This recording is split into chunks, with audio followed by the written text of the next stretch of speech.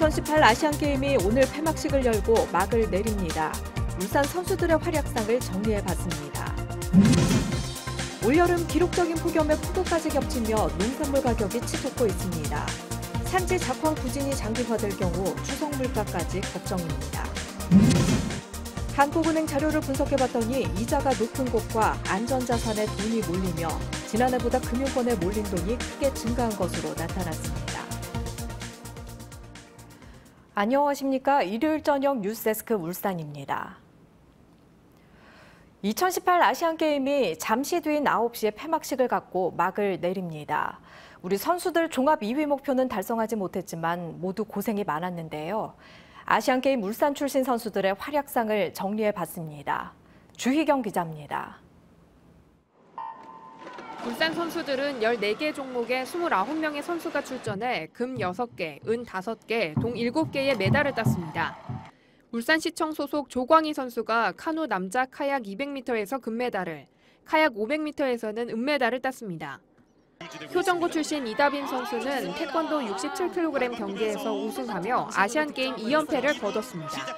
울산 출신이라는 이유만으로 응원해주신 울산 울산 분들께 너무 감사드리고 그리고 앞으로도 이제 열심히 계속 할 테니까 앞으로도 응원 열심히 아, 많이 해주셨으면 좋겠습니다. 감사합니다.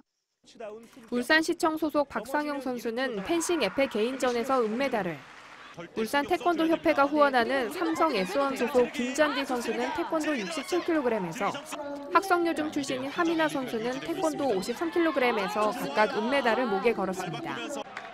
금메달을 딴 볼링 6인조 단체전에서는 울주군청 소속의 강유원 선수가, 카누 용선 남북 단일팀에서는 현재찬 선수가 조타수로 활약했습니다. 현대 모비스 소채원 선수는 양궁 여자 compound 단체전에서는 금메달을, 혼성 compound에서는 은메달을 추가했습니다.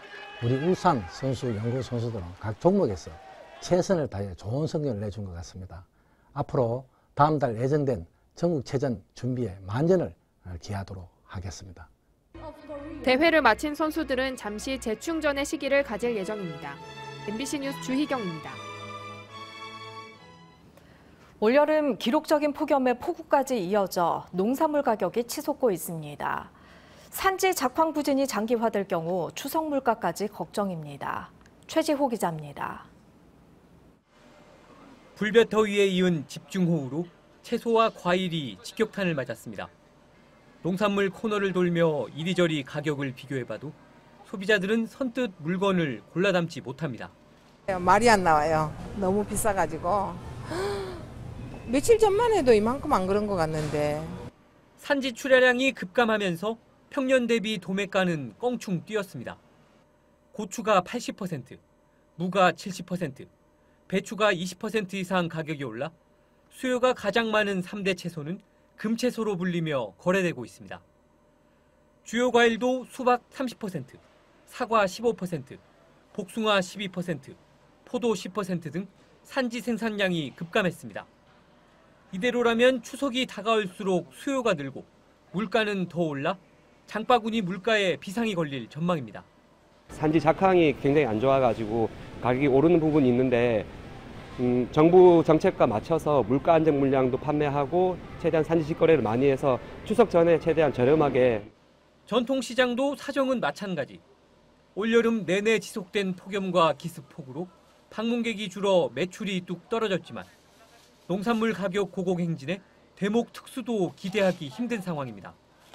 또 필요한 것만 살라고 하시겠죠. 그런 이제 뭐 경기가 어려우니까 이제 뭐 불필요한 건안 사오고 걱정을 하고 있죠 지금. 정부와 울산시는 추석 성수기 전까지 수급을 안정시키겠다는 방침이지만 이례적인 폭염과 폭우 여파로 가격 강세는 불가피해 보입니다. MBC 뉴스 최지호입니다. 여러분은 여윳돈을 어떻게 활용하십니까? 한국은행 자료를 분석해 봤더니 금융권으로 몰린 돈이 지난해보다 크게 증가한 것으로 나타났습니다. 비과세, 이자가 높은 곳, 그리고 투자 위험이 낮은 쪽으로 돈이 급격히 몰렸습니다. 조창래 기자입니다. 올 들어 5월까지 울산 지역 시중은행에 몰린 돈은 3,763억 원. 지난해에는 예금액이 오히려 412억 원 줄어섰는데 상당한 증가폭을 보였습니다. 비은행 금융기관의 수신액 역시 큰 폭으로 증가했습니다. 지난해 5월까지 수신액은 3,841억 원이었지만 올해는 이미 9천억 원을 넘어섰습니다. 특히 세금 우대 등의 혜택이 있는 새마을금고 수신액은 지난해 324억 원에서 올해는 1,851억 원으로 5.7배나 급증했습니다. 시중은행과는 은행과는 달리 우리 새마을금고는 그 1인당 3천만 원까지 비과세 혜택이 주어지기 때문에 그 명목금리가 높다 보니까 그 우리 금고로 자금이 유입된 것으로 사료됩니다. 주목할 점은 자산운용회사와 신탁회사 계좌로 흘러들어간 돈의 증가세입니다. 자산운용회사의 경우 지난해보다 수신액이 1,128억 원, 신탁회사는 3,105억 원이나 증가했습니다. 지난해 같은 기간에 비해 6배 가까이 늘었는데 채권과 펀드 등 투자 위험성이 낮으면서도 은행 이자보다 수익성이 높은 쪽으로 돈의 흐름이 포착됩니다. 반면 올 상반기 하락세를 보인 주식 계좌에서는 오히려 돈이 빠져나가 투자자들이 안전자산을 더 선호하고 있는 것으로 분석됩니다. MBC 뉴스 조창래입니다.